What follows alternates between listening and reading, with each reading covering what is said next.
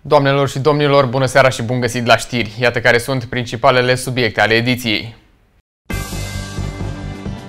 Curiozitatea unui tânăr din Bistrița Năsăud a făcut ca acesta să rămână fără câteva degete la o mână după ce o petardă artizanală i-a explodat în mână. Sătul să tot aibă grija zilei de mâine, un bărbat de 48 de ani din Deș a decis aseară să-și încheie socotelile cu viața. O clădire veche de peste 80 de ani din Tăuții Măghereuș a devenit motiv de scandal între autoritățile locale și poșta română. În municipiul Deș se lucrează intens la asfaltarea drumurilor și Ujolidon s-a reunit cu 5 noutăți în lot.